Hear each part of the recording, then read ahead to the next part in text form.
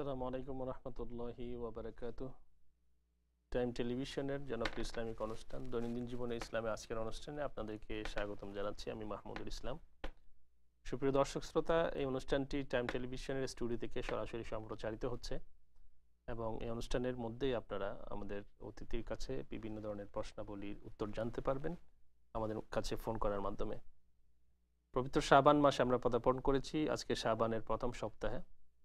প্রথম সপ্তাহে শাবানের আমরা আলোচনা নিয়ে এসেছি আপনাদের কাছে। রজব এবং রমদান রজব মাস থেকে শুরু করে আল্লাহ রসুল সাল্লাহ আলাই ওসাল্লাম রমজানের প্রস্তুতি নিতেন এবং রমজানকে কেন্দ্র করে দোয়া করতেন, যেটা আমরা সবাই জানি আল্লাহ বারিক লেনা ফি রজব ওয়া শাবান ওয়াবাল্লিগনা রমাদান।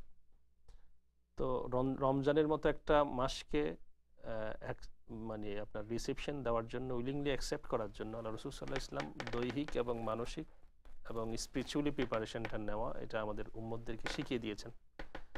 এবং তারই ধারাবাহিকতায় আহ, শাবানের মধ্য রজনী যেটাকে বলা লা- আহ, লাইলাতুন নিসফমিন শাবান এমন একটি রাত ফজিলত সম্পর্কে হাদিসের ভিতর আমরা পাই যেটাতে আল্লাহ রসুল সাল্লাহ ইসলাম এনকারেজ করেছেন রাতের ফজিলত সম্পর্কে। আহ, উম্মতে মুসলিমা বিভিন্ন আবাদতের মাধ্যমে সে রাতটা অতিবাহিত করে থাকেন। তো সর্বপরিসরে এখন মে মাস চলছে। জুনে আমাদের বাচ্চাদের স্কুল বন্ধ হয়ে যাবে। এরপর সামার একটা বিশাল অপরচুনিটি নিয়ে আসে আমাদের ইসলামিক স্কুলগুলোতে বাচ্চাদেরকে। এই দুইটা মাস প্রপারলি আমরা যতটুকু সম্ভব ইসলামিক একটা এনভায়রনমেন্ট দেওয়ার চেষ্টা করি।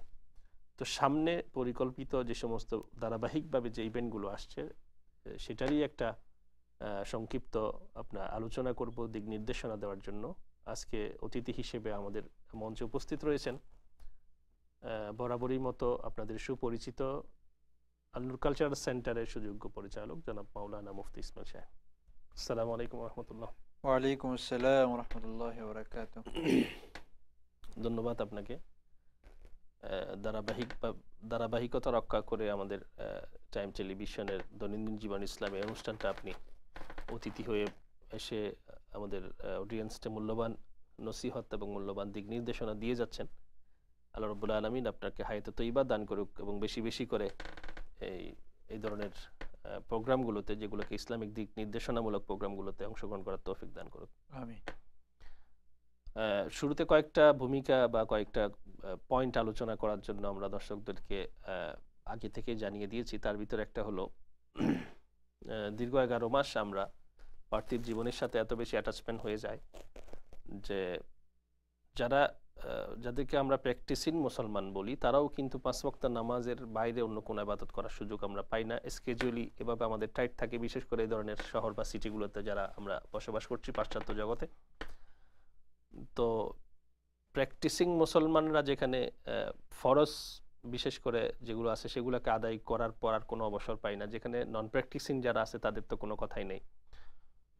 তো আল্লাহ রব্বুল আলমিন মানুষের মনে এই ফিতরতটা আগে থেকেই জানেন বা জানতেন সেজন্য হয়তো আমাদেরকে, আমাদের ইমানকে রিচার্জ করার জন্য বা আমাদের এই পার্থিব জীবনে অ্যাটাচমেন্টটাকে একটু করে আল্লাহর সাথে সংযোগ স্থাপন করে দেওয়ার জন্য রমদান নামক একটা মাস আমাদেরকে উপহার দিয়েছেন।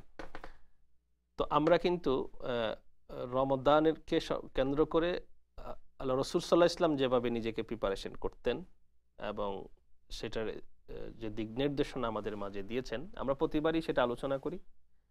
কিন্তু আলোচনার ফলপ্রসূটা বা যেটা আমরা বলি যে রেজাল্ট সেটা খুব কম আউট হয়। একটা ফর এক্সাম্পল আপনি এই, এই- সাইডটাও বলবেন যে রজব থেকেই আমরা যারা মসজিদের দায়িত্বে আছি বা বিভিন্ন ধরনের মানুষকে বারবার রিমাইন্ডে দিচ্ছি রমজানের কথা। তারপরেও দেখা যায় যে রমজানের আগের দিন অনেকেই মনে হয় যে না, আগামীকাল রমজান। একটু তাড়াতাড়ি করে সবকিছু গুছাই ফেলো। এমন উদাসীনতা কেন আমরা লক্ষ্য করে থাকি এবং রমজানকে কেন্দ্র করে আমাদের প্রিপারেশনটা কেমন হওয়া উচিত? বিসমিল্লাহ রহমান রহিম। কুতিবা আলাইকুম সিয়াম কামা কুতিবা আলাল্লাযীনা মিন ক্বাবলিকুম লাআল্লাকুম তাত্তাকুন। সাদাকাল্লাহুল আযীম। আমার মনে হয় গত রমজানও আলহামদুলিল্লাহ আমরা রমজানের পূর্বে বেশ কয়েকবারে আলোচনাগুলো এনেছিলাম। তারপরেও যেহেতু কোরআনের বাণী হলো ফাদাক্কির ফাইন্না যিকরা ফাউল মুমিনিন বারবার একে অন্যকে স্মরণ করাও। এতে যারা আমল করে বা যারা প্র্যাকটিক্যাল মুসলমান, যেটা আপনি বারবার ইঙ্গিত করেছেন, তাদের জন্য এটা খুব বেনিফিশিয়াল হবে। যে বলবে তারও ফায়দা হবে। আমাদের ভিতরেও করার আগ্রহ জন্মাবে। আর যাদেরকে বলা হচ্ছে, তাদের মধ্যে থেকেও যারা কাজ করার অভ্যস্ত, আমল করার, তাদের আবার নতুন করে স্মরণ পড়বে। সেটাকে সামনে রেখে আবার রিপিট করতেছি, যদিও গত বছর আমরা আলোচনা করেছি, আলহামদুলিল্লাহ, যে এটা আল্লাহ পাকে মানুষকে সৃষ্টি করার পরে আপনারা গত এক মাস আগে আমরা একটা আষাঢ়ে হরুম, চার মাস, বিশেষ মাস, যেখানে সাধারণ অপরাধগুলো করাও নিষেধ। তার মানে কি, এই চার মাস পর সবগুলো হালাল, হারামের যখন এগুলো হারাম হলো আর ওগুলো এমন না। ওই সমস্ত মাসও আমরা অনেক অপরাধ করে ফেলি, যেগুলো এই মাসে না করা। এই মাসে হেরেমের দিকে তাকিয়ে সম্মানের দিকে তাকিয়ে এটা একটা সিজন আরও একটা সিজন আল্লাহ পাক দিয়েছেন যে রমজান থেকে নিয়ে, রমজান রমজান তো একটা বিশেষ মাস। আমরা জানি, দেখবেন যখন নাকি আমাদের দেশে বিশেষ কোনো অনুষ্ঠান হয়, তো অনুষ্ঠানের মেইন জায়গা পর্যন্ত পুষতে আপনাকে বুঝে আসে যাবে, শুরুর আরও এর থেকে আধা মাইল আগ থেকেই বুঝবেন যে সামান্য সামনে একটা মেইন স্টেজ আছে। মেইন স্টেজটা কিন্তু একদম শুরুতে থাকে না, শেষে থাকে। তো আল্লাপাক রমজানকে সাজাইছেন রজব এবং শাহবানকে দিয়ে। যে আমার বন্দা রজব এবং শাহবানে প্যারেড শুরু করবে। মেন তো স্যালুট করব আমরা রমজানকে। এই স্যালুটের জন্য যে প্যারেড পিছনে দরকার, একবার আপনি অনেক কদম হেঁটে যাইয়া তারপর স্যালুটটা করে একটা স্যালুটের জন্য কি পরিমাণ কদম দিয়ে হাঁটে? তো এটা মেইনলি রেডি হয়। ঠিক এরকম রমজানকে স্বাগতম জানানোর জন্য ওয়েলকামিং করার জন্য আল্লাহ পাক এর আগে দুটা মাস রজব এবং শাহবানের মধ্যে ইবাদতের রিওয়ার্ড বাড়াই দিয়েছেন। এনকারেজ এবং উম্মদকে এনকারেজ করেছেন যাতে করে বেশি আবাদত করে। এই জন্য রাসুল আকরম সাল্লাম বলেন যে, রজব এরকম একটা মাস যেখানে আমল করলে আল্লাহ পাক বেশি খুশি হন, এটা আল্লাহর মাস, শাহরুল্লাহ। আর শাহরু শাহবানকে আমার মাস বেশি থেকে বেশি রোজা রাখতেন। আফটার রমাজন, মা আয়সা সিদ্দিকা রাজি আল্লাহ তালা বলেন যে রসুল্লাহ আকরম সব সবচেয়ে বেশি বেশি রোজা রাখতেন যে মাসটা, সেটা ছিল শাহবান কখনো কখনো এমন রোজা রাখা শুরু করতেন যে মনে হয় উনি আর একটা রোজা ভাঙবেন না। কখনো কখনো আবার ভাঙতেন, বিশেষ করে শেষ দিকে তো অবশ্যই ভাঙতেন। এবং উনি বলতেন যে এই মাসে রোজার খুব ফজিলত। তো এগুলো সব, যেই যেই আমলগুলো রমজানে করার দ্বারা ফজিলত আমাদের ফায়দা হবে, বিশেষ করে তেলাওয়াতে কোরআন, রোজা, সদগা, জারিয়া জাকাত আর যা যা আছে, এগুলো রজব এবং শাহবানে করার জন্য বেশি বেশি বলা হয়েছে। কেন? যাতে করে কোনোভাবে রমজানের বেনিফিটটা না ছুটে যায়। যদি এরকম হয় যে আপনি রমজানের একদিন আগে জানলেন যে কালকে রমজান। আপনি রেডি না? ইউ আর নট রেডি তখন কি হবে আপনি যে রমজানকে ওয়েলকামিং করবেন যেটাকে স্যালুট বললাম সেটা সুন্দর হবে না। সেটা আল্লাহকে খুশি করার মতো হবে না। এবং দেখেন আল্লাহ সাল্লাহ ইসলাম আপনি বলেছেন যে রমজান ছাড়া সবচেয়ে বেশি রোজা পালন করতেন সাবান মাসে।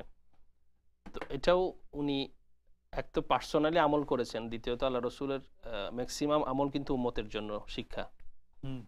যেমন আমরা এখানে যারা বিশেষ করে এই দিনগুলোতে যারা রোজা রাখছি বা সামনে রোজা রাখব, সামনেরটা পড়বে তো আপনার জুন মাস থেকে শুরু, যেটা পুরো সামার বলা হয়।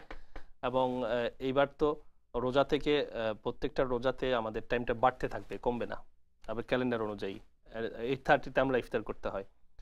তো হঠাৎ করে সামারে রোজা চলে আসার যার কারণে অনেক সময় রোজাটা শুরু করতে আমরা ফিজিক্যালি অনেক কষ্ট হয়ে যায় আমাদেরকে। জি। তো আল্লাহ রসুল ইসলাম এটাই আমাদেরকে শিখিয়ে গিয়েছেন যে রোজা রাখার যে প্র্যাকটিসটা তুমি সাবান মাস থেকে শুরু করো। যাতে তোমাদের ওই যে বডির ভিতরের যে আছে সেগুলো যাতে করে একটা অ্যাডজাস্টেবল পর্যায়ে চলে যায়। একসাথে সাথে যেটা রোজা রাখার মাধ্যমে কিন্তু মানুষের ভিতরে একটা স্পেশালি ভাব আসে। আপনি রমজানের ভিতর দেখবেন বাকি এগারো মাস মানুষ অপ্রয়োজনীয় যে কাজগুলো করে অপ্রয়োজনীয় গুণাগুলো হয়ে যায় সেগুলো অন্তত তারা রমজান মাসে করে না। বা অনেকেই আছে যে ইচ্ছা করে করে না অনেকে আছে আবার করার টেন্ডেন্সিটা থাকে না বিকজ অফ রোজার কারণে। তো সাবান মাসে শুধু রোজা রাখা রাখার মাধ্যমে কিন্তু রোজাটারও ফিজিক্যালি প্র্যাকটিস হলো সাথে সাথে আবার স্পিরিচুয়ালি একটা ভাবও আমার ভিতরে ফিলটা তৈরি করলে চলে আসলো। তো এটাই আসলে আল্লাহ রসুল্লাহ ইসলাম মানে হয়তো উম্মতকে শিখাতে চেয়েছেন বা শিখিয়েছেন। আরেকটা যেটা বিষয় আমি অলরেডি শুরুতে বলেছিলাম যে রমজান মাসের ভিতরেই কিন্তু মানে সরি সাবান মাসের ভিতরেই কিন্তু একটা রাতের কথা আমরা হাদিসের ভিতর পাই যেটাকে আল্লাহ রসুল ইসলাম বিভিন্ন হাদিসের মাধ্যমে আলাদা করে ইন্ডিকেট করেছেন।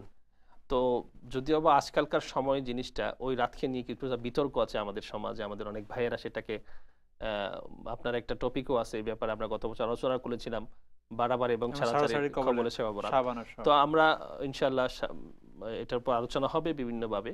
তো আমি শুধুমাত্র এটা জানতে চাচ্ছি এখন থেকে একটা দিক নির্দেশনা যদি আমরা আজকের অনুষ্ঠানের মাধ্যমে দিয়ে থাকি, যাতে করে মানুষ সামনে যে সামনের দিনগুলোতে যে বিতর্কগুলো শুনবে, সেটার উপর একটা ডিসিশন যাতে নিতে পারে, এটা একটা সামারাইজ যদি আপনি বলতেন। এটাকে আসলে আরেকটু পিছন থেকে এনে বলি। কিছুদিন আগে আরেকটা রাত্র আমাদের গিয়েছে, যেটা নিয়ে আমরা অনেকে কেউ উদযাপনও করেছি কেউ উদযাপন করে নেই। কিন্তু অনেকের আছে উদযাপন যারা করেছে তারা কেন করেছে? আর যারা করেন নাই তারা কেন করে? বহু কথা যেটাকে আমরা মেয়ারাজের রাত্র বলতে পারি সবে মেয়ারাজ। সবের একটা বন্ধুত্ব হয়ে গেছে আমাদের দেশীয় ওয়ার্ডের মধ্যে। যদি এটা ফার্সি শব্দ সবে মেয়ারাজও বলি সবে বরাতও বলি সবে কদরও বলি সবে জুমাও বলি। সবের একটা সব গুজারিও বলি। যে সব গুজারি। তো এটা ফার্সি শব্দ আসলে। তো অনেকে আসলে কিছু প্রশ্ন অনেক সময় করেন। এমন ভাবে করেন যে উনি যে এই প্রশ্নটা যে জায়গায় করা দরকার সেখানে না করে যেখানে দরকার না সেখানে করে। সবে মেয়ারাজ সম্পর্কে স্পষ্ট আমাদের কনসেপ্ট হলো সবে মেয়ারাজ বলতে কোনো কিছু নেই। তবে মেয়ারাজ উদযাপনের বিষয় না। মেয়ারাজের সম্পর্কে একদিকে যেমন সিরাতের সাথে আছে আরেকদিকে সেটা আকিদার সাথে। সো মেয়ারাজের মেইন কনসেপ্ট হলো আকিদার সাথে। আল্লাহ আমলের সাথে কোনো যোগসূত্র নেই। না। মেয়ারাজের আসল কনসেপ্ট হলো যে আল্লাহ রসুল যে গিয়েছেন সশরীরে গিয়েছেন এটা আমরা বিশ্বাস করি। এবং আল্লাহ রসুলের সিরাত নিয়ে আলোচনা করলে তার মধ্যে একটা অন্যতম। উনি ওনার যে কারামত বলতে পারেন বা আল্লাহর পক্ষ থেকে পাওয়া গিফটের। পাশাপাশি হ্যাঁ মেয়ারাজের আলোচনা থেকে শিক্ষা নিতে পারি যে আল্লাহ পাক এত দূরে নেওয়ার পরে ওনাকে জান্নাত জাহান্নাম দেখাইছেন। কোন কোন অপরাধের শাস্তির মানে ড্যামো দেখাইছেন? আমরা বলি এটাকে ড্যামো দেখায় না যে এটা হবে, এটা দেখাইছেন। এটা ছিল মেয়ারাজের আলোচনা। এখন আসেন সবে বরাত। অনেকে বলে, হুজুর, সবে বরাত বলতে কোনো কিছু তো হাদিসে নেই। আমরাও বলি তাই, একদম স্পষ্ট কথাই, সত্য কথা। সবে বরাত এভাবে নাম দিয়ে হাদিস এবং কোরআনে কোনো আয়াত নেই। হাদিসে আছে, লাইলাতুন নিসফে মিন শাহবান এটা আমরাও বলি। কোরআন, আমরাও বলি যে কোরআনে কোনো আয়াত নাই যেটা স্পষ্ট ইশারা করে সবে বরাতের প্রতি। যেটা আমরা সুরায় কদরের কথা বলেন অথবা দোকানের এখানে এসে যদি বলেন, এটার প্রত্যেক তাফসির একবারে প্রথম শতাব্দী না দ্বিতীয় শতাব্দী থেকে তাফসির কিতাব শুরু হয়েছে পুরা পাণ্ডুলিপি হিসাবে। দ্বিতীয় শতাব্দী থেকে যত কিতাব এ পর্যন্ত পাবেন ওই আয়াতে তা মুফাসারে কেরামটা একটা জিনিস লিখবে। দেখবেন? সেটা লিখবে এই যে এই আয়াত দ্বারা অনেকে সবে বরাতকে বুঝাতে চান। লাইলাতুল নিসফি মিন শাহবানকে কিন্তু এর প্রথম মেজদাক হলো সবে কদর বা লাইলাতুল কদর। তো আমরা বলি যে এটা একটা দলিল যে সবে বরাত বলে একটা রাত্র আছে। কীরকম? যে মুফাসসিরে কেরামরা কেহই এই কথা বলেন নাই। যে এই আয়াত দ্বারা প্রথমত লাইলাতুল ক- লা- উম, সবে বরাত কোনোভাবে বোঝানো যাবে না আর সবে বরাত বলতে কোনো কিছু নেই এটা বলে না। বলবে এই কথাটা যে সবে বরাত বোঝানোর জন্য এই আয়াতকে যেভাবে অনেক সময় দলিল হিসেবে এই কথাটার মানে পিছনে জিনিসটা বোঝা যায় যে লাইলাতুল লাইলাতুল নিসফমিন শাবান কিন্তু আছে। কত আগ থেকে? আগ থেকেই আছে কিন্তু এই আয়াতটা স্পেসিফিকলি সেটার জন্য না। সেটার জন্য না এবং মুফাসসির একরামরা কীভাবে লেখেন? যে বরাতের সব বরাতের ফজিলত হাদিস দ্বারা সাব্যস্ত। তবে কেউ কেউ এই আয়াত দ্বারা বলেন হাদিস দ্বারা সাব্যস্ত। দুইটা জিনিস বুঝতে পারি। এক নম্বর প্রত্যেকটা মুফাসসির আমরা সমর্থন। দ্বিতীয় হলো কত আগ থেকে সেটা আসতেছে। এটা এরকম না যেমন আমাদের মিলাদের কথা বলি পাঁচশো বছর পর্যন্ত কেউ এর কোনো ড্যামোই দেখে নাই স্যাম্পলে দেখে নাই। তো এটা একটা বিষয় প্রথমে আমাদের মাথায় রাখা যে সবে বরাতের রাত্রটা হলো মেরাজ থেকে বিপরীত আমলের রাত্র। ওটা আকিদার রাত্র ছিল ওটা আকিদার বিষয়। এটা আমলের বিষয়। বয়ানের বিষয় না সেলিব্রেশনের কোনো বিষয় না। হ্যাঁ এটা আবার আমরা একটু সেখানে একটু অ্যাড করতে পারি। ফিক্সড কোনো আমলের রাত না। এটা হ্যাঁ এটা আপনার আপনার উপর ছেড়ে দেওয়া হয়েছে। রাত্রে ফজিলতটা সাব্যস্ত আছে কিন্তু রাতে স্পেসিফিক আমল সাবেত নাই। এটাই হচ্ছে মূল আমাদের কনসেপ্ট বা আমরা যেটা বিশ্বাস করি। তো এটাতে একটা জিনিস হলো আহ, মানে এই কথাটা মানে এই কথাটা বিশ্বাসে আনার সাথে সাথে বাকি দুই কথাটা চলে যায়। একটা কথা হলো শবে বরাতের কোনো মানে ফজিলতই সাবেত নাই। প্রমাণিত না। এটা হলো ছাড়াছাড়ি। ছাড়াছাড়ি। আরেকটা যেমন রাতের ফজিলত তো আছে রাতে স্পেসিফিক এবাদত আছে। বাড়াবাড়ি। বাড়াবাড়ি। এর মাঝামাঝি আমাদের মাঝামাঝি অবস্থানটা করতে হবে এবং যে যে হাদিস বা কোরআনের আলোকে যতটুকু আমরা পাই সেটাকে স্বীকার করতে হবে এবং সেটাকে মেনে নিতে হবে।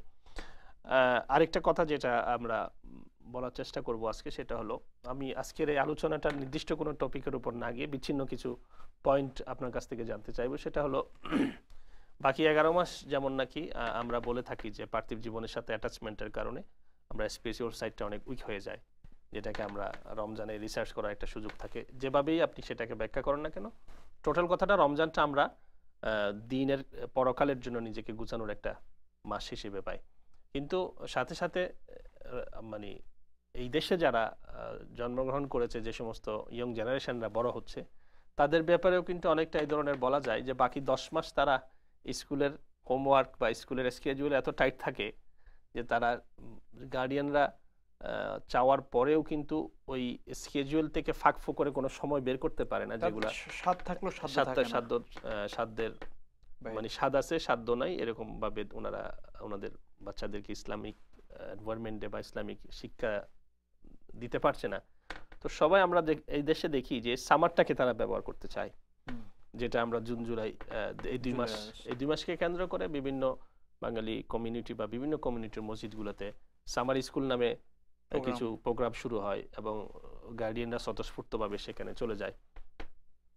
তো এই জিনিসটাকে মানে আপনি কি মনে করেন যে আমরা শুধু দুই মাস কেন্দ্র না রেখে এটাকে আরও ব্যাপক করা যায়? কারণ ইসলামিক দিন শিখাটা যেমন নাকি আমাদের আমলগতভাবে আমরা যেটা প্র্যাকটিস করতেছি এগারো মাস মানে পার্থিব জীবনের বেনিফিটের বা কেরিয়ার ডেভেলপ করার জন্য চাচ্ছি। এক মাস যাচ্ছি রমজানে স্পিরিচুয়াল সাইড দেওয়ার জন্য।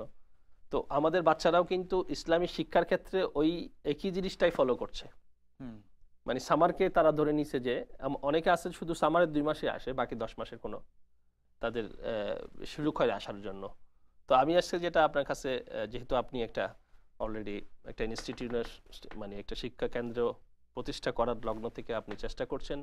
আল্লুর কালচারাল সেন্টার, আলহামদুলিল্লাহ আমরা সবাই আশা করছি সেটা একদিন বড় আকারে ইসলামিক একটি ইনস্টিটিউট হবে।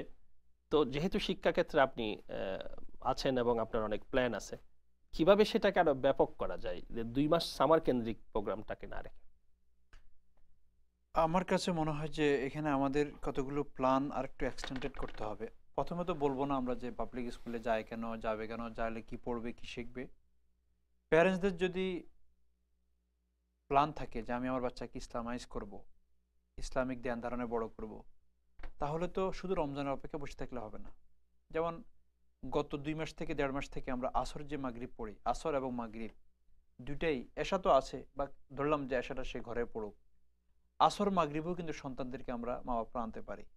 ছেলেদের টাইম ওভাবে জি টাইমগুলো এখন সিক্স থার্টি এবং আপনার এইট এইট ফিফটিনে চলে গেছে। কয়জন প্যারেন্টস আনছেন? আনেন নাই। এবং ওনারা কখনো অফারও করছেন কিনা সন্দেহ আছে, কারণ বাচ্চা তো এরকম যে সে টাইমটাকে হয়তো কিল করবে, নতুবা ইনভেস্ট করবে, অথবা ওয়েস্ট করবে। এখন আমি যেটা মনে করি, আমাদের প্যারেন্টসদের কাছে মনে হয় যে আমি যদি তাকে মসজিদের দিকে নিয়ে যাই অথবা ইসলামিক স্কুলে নিয়ে যাই, তাহলে তার কেরিয়ার সমস্যা হবে। তো আমার কাছে মনে হয় বাচ্চারা ইনোসেন্ট নিষ্পাপ। আমাদের প্যারেন্টসদেরকে আমরা আরেকটু প্যারেন্টসহুড বা অথবা যেটাকে বলা হয় ডিসকাশন করা দরকার যে যে কতটুকু সময় আমরা পাই তাদেরকে স্কুলের বাইরে, এই কতটুকু থেকে আমরা একটা কোয়ালিটি টাইম যদি ইসলামিক স্কুল বা স্কলারদের সাথে বা যেখানে, আমি বলব না লোকাল মসজিদে নিয়ে চলে যান। আপনি জানেন এখন সব মসজিদে ইউথ প্রোগ্রাম হতে থাকে। শুক্রবারও হয়, শনিবারও হয়, রোববারও হয় ইভেন কখনো কখনো সপ্তাহের মাঝখানেও হয়। এটা কাইন্ড অফ একটা স্প্রিং এটা একটা ভালো নেয়ামত মা বাপদের জন্য, কারণ বাচ্চাদের জন্য অনেক কথা নিজে বললে শুনবে না। কিন্তু এই দেশের যারা গ্রো আপ এখানে হোম গ্রোন ওলামা যারা স্কলার যারা আছেন, তাদের কথা বললে তারা যখন বলে, আমি পিএস টুয়েলভে পড়াশোনা করেছি, আমি ওখানে পড়াশোনা করেছি, আমি ওই কলেজ থেকে এসেছি I I I saw everything in this so এটা বেশি এফেক্টিভ হয় আর কি। তো আমার কাছে মনে হয় প্যারেন্টসদেরকে আগে এটা বোঝাতে হবে যে, আমার বাচ্চার যেরকম নাকি তার কেরিয়ার ডেভেলপমেন্টের জন্য পাবলিক স্কুলে যাওয়া লাগতেছে এবং বিভিন্ন টিউটোরিয়ালে যাওয়া লাগতেছে, তার স্পিরিচুয়াল ফিল্ডটাকে ডেভেলপ করার জন্য তাকে আমাকে এক এক জায়গায় নিতে হবে, কষ্ট করতে হবে আমাদের বিভিন্ন ফ্যামিলি এন্টারটেনমেন্টকে কাট করে আমরা, এটা কিন্তু আমি এক শব্দ বলে দিতে পারব না যে এটা করলে হয়ে যাবে। প্রত্যেক প্যারেন্টস তার বাচ্চা অনুযায়ী ডিজাইন করবে যে আমি কোন সিচুয়েশনে আছি আমি কোন জায়গাতে আছি এবং আমার বাচ্চার কি রোগ এবং এখানে একটা জিনিস আপনি যেটা সবসময় এনকারেজ করে থাকেন আমরা সব বিষয়ের বেশি জানার জন্য এবং আরও কীভাবে স্মুথলি করতে পারি সেজন্য কিছু কনসালটেন্সি করি। জি। আমরা কোনো আইনগত দিক থেকে একটা কনসালটেন্স লাগে আমাদের যে জিনিস। পারপাসে লাগে আমাদের হেল্প পারপাসে লাগে আমাদের পারিবারিক অনেক সমস্যার জন্য আমরা কনসালটেন্স করি।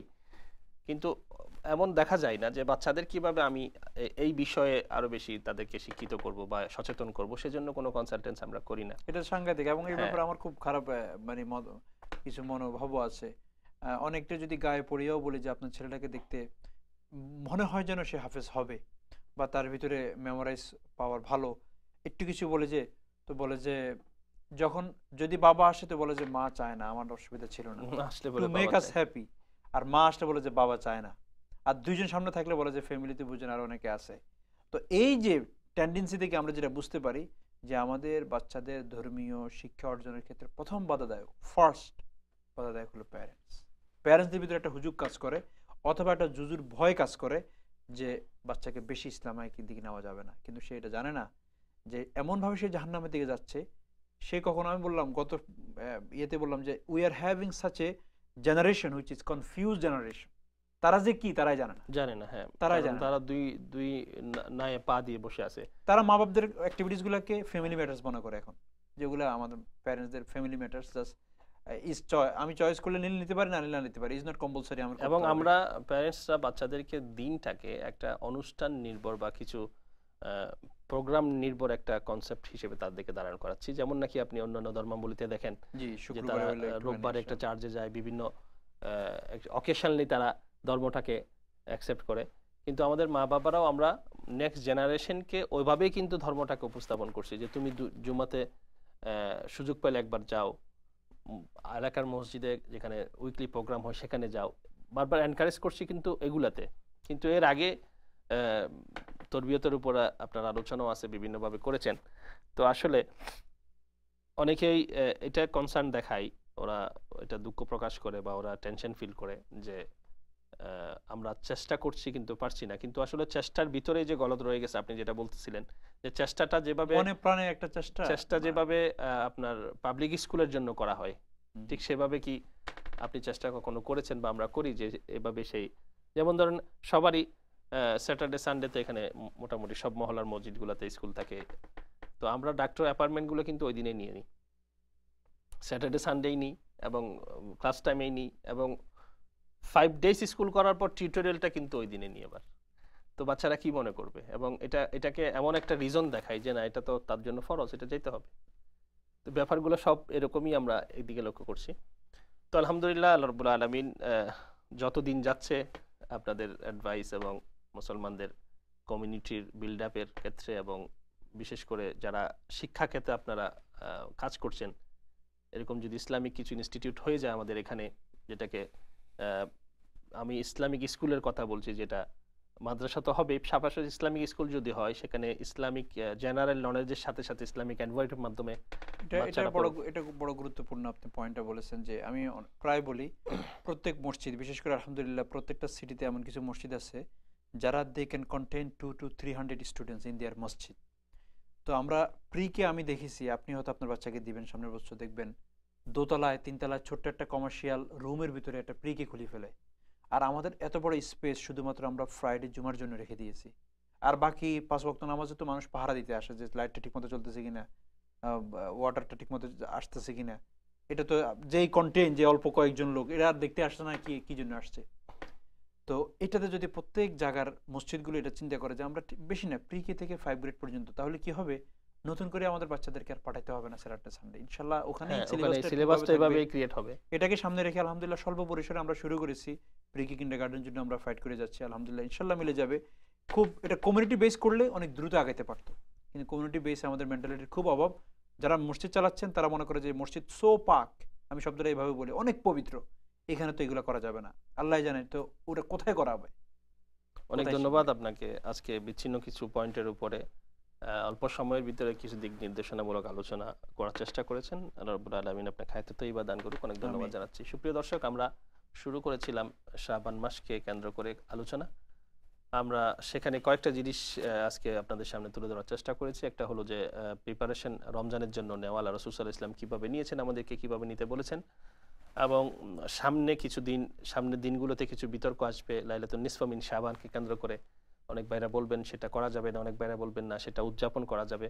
আসলে ব্যাপারটা কি? আমার, আমাদের অতিথি অল্প কথার ভিতর হয়তো আপনারা বুঝতে পেরেছেন এটার সম্বন্ধীয় সাথে সাথে সামার যেই সময়টাকে আমরা কাজে লাগাই বাচ্চাদের ইসলামিক নলেজকে ইনক্রিজ করার জন্য, সেটাকে শুধু সামার কেন্দ্রিক না রেখে কীভাবে সারা বছরে বাচ্চারা ইসলামিক নিজের রিলিজিয়ানের সাথে একটা টাচে থাকতে পারে একটা ইসলামিক এনভায়রনমেন্টে থাকতে পারে সেজন্য একটা নির্দেশনা আজকের আলোচনাতে ছিল।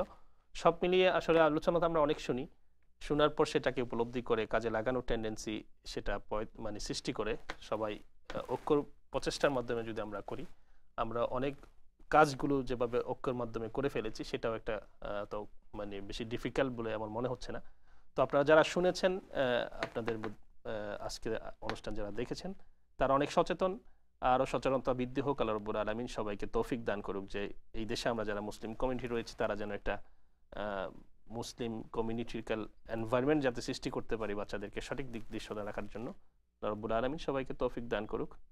আমাদের অনুষ্ঠান দেখার জন্য ধন্যবাদ জানাচ্ছি। পরবর্তী অনুষ্ঠান দেখার আমন্ত্রণ জানিয়ে আজকের মতো এখানে বিদায় নিচ্ছি। আসসালামু আলাইকুম রহমতুল্লাহি ওবরাকাতু